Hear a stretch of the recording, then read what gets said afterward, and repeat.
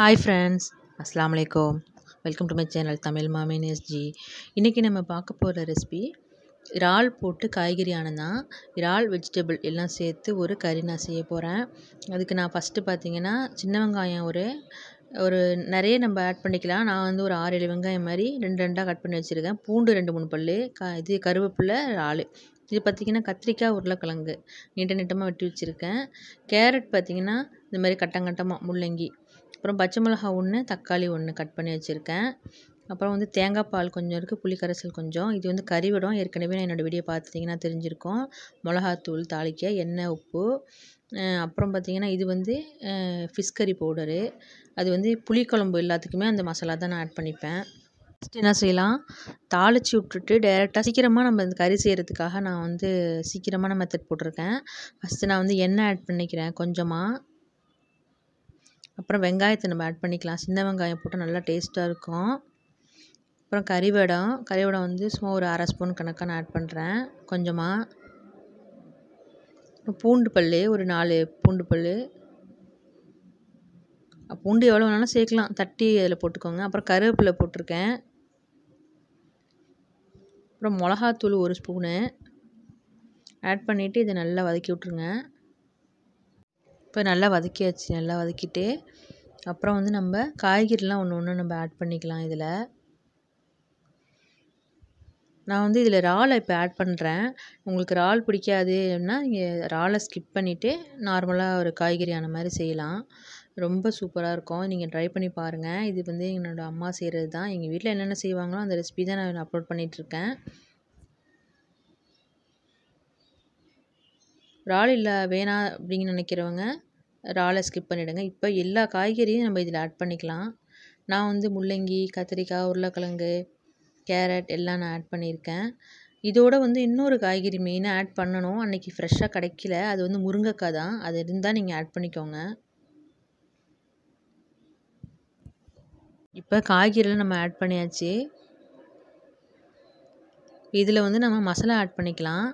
நான் வந்து எப்படின்னா கறி மசாலா இறச்சி கறிக்கு தனியாக ஒரு மசாலாவும் புளி போட்டு போடாமல் ஆக்குவோம் இல்லையா? அதுக்கு வந்து இறச்சி மசாலாவும் புளி போட்டு ஆக்குறதுக்கு ஒரு மசாலா தனியாக அரைச்சி கொடுத்துருவாங்க. நான் அதுதான் யூஸ் பண்ணுவேன்.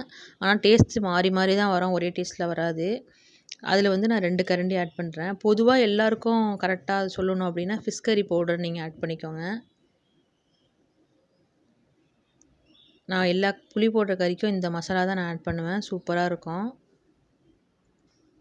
ரெண்டு கரண்டி ஆட் பண்ணிவிட்டு உப்பு ஆட் பண்ணிவிட்டு வதக்கிக்கிறேன்.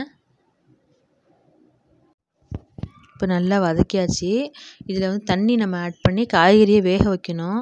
தண்ணி வந்து காய்கறிக்கு ரொம்ப ஊற்ற வேண்டாம். காய்கறி கொஞ்சம் மிதங்குற அளவுக்கு ஊற்றிட்டு உப்புலாம் கரெக்டாக இருக்கா என்னென்னு பார்த்துட்டு நீங்கள் மூடி போட்டு நம்ம வேக வைக்கணும். நான் வந்து மேபி முடிஞ்சால் நான் வந்து இந்த மசாலா எப்படி செய்கிறதுன்னு நான் அளவுலாம் கேட்டு நான் சொல்கிறேன் ரொம்ப யூஸ்ஃபுல்லாக இருக்கும். பிகினர்ஸ்க்கு ரொம்ப ரொம்ப யூஸ்ஃபுல்லான ஒரு மசாலா தான் இது. நான் வந்து உங்களுக்கு கண்டிப்பாக சொல்கிறேன் எனக்கு தனித்தனியெல்லாம் ஆட் பண்ணி வரவே வராது. இந்த மாதிரி ஒன்றா இருக்கிறதுனால ரொம்ப ஈஸியாக சமைக்கிறதுக்கும் ஈஸியாக இருக்கும்.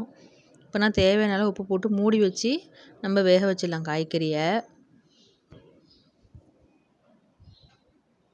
இப்போ திறந்து பார்க்கலாம் கொஞ்சம் நேரத்துக்கு அப்புறம் ஒரு பத்து நிமிஷம் கழித்து காய்கறி நல்லா வெந்திருக்கும். வெந்த பிறகு தான் நம்ம மற்றதெல்லாம் ஆட் பண்ணணும். பாருங்கள் கத்தி போட்டு நான் நான் ட்ரை பண்ணி பார்க்குறேன் காய்கறிலாம் அழகாக வெந்துருச்சு.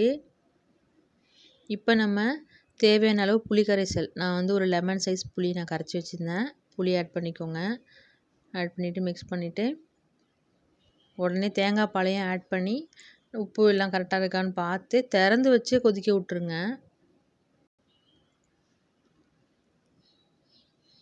திறந்து வச்சே நம்ம கொதிக்க விட்டுருங்க. நான்வெஜ் சாப்பிடாதவங்க கவலைப்பட வேண்டாம். இறாலை ஸ்கிப் பண்ணிவிட்டு நீங்கள் ஆக்குங்க. சூப்பராக இருக்கும். இப்போ தேங்காய் பால் ஊற்றிட்டேன் தேங்காய் அரைச்ச தேங்காய் இருந்தாலும் நீங்கள் ஆட் பண்ணிக்கோங்க. கொஞ்சம் நேரத்துக்கு அப்புறம் நம்மளோட காய்கறி ஆனால் ரெடி ஆகிடுச்சி நான் புளி பத்தலை அப்படிங்கிறதுனால கொஞ்சம் புளி ஆட் பண்ணி உப்பு ஆட் பண்ணிவிட்டு கொதிக்க விட்டு இறக்கிற வேண்டியது நல்லா. வந்து அந்த வீடியோ பிடிச்சிருந்தா லைக் பண்ணுங்கள் ஷேர் பண்ணுங்கள் சப்ஸ்கிரைப் பண்ணுங்கள் சப்ஸ்கிரைப் வந்து ஃப்ரீ தான். நீங்கள் வந்து பண்ணிக்கலாம். மறக்காமல் சப்ஸ்கிரைப் பண்ணி எனக்கு சப்போர்ட் பண்ணுங்கள் அப்புறம் வந்து இதுக்கு நான் தொட்டுக்க வந்து இறால் வடை செஞ்சேன் இந்த கறிக்கு.